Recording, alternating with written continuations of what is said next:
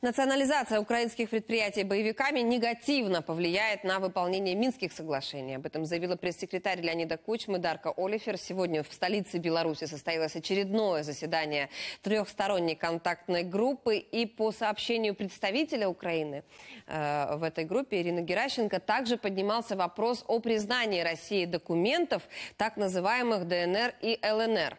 Украинские представители заявили, что это может привести к тому, что пленных, пленных которых удерживают боевики, объявят гражданами самопровозглашенных, якобы вот так называемых самопровозглашенных республик. И, конечно же, стороны просили ОБСЕ содействовать разведению сил и отводу вооружений.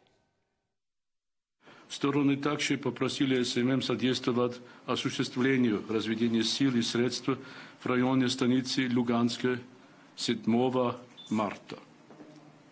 Кроме того, стороны подтвердили свою приверженность полному отводу тяжелого вооружения.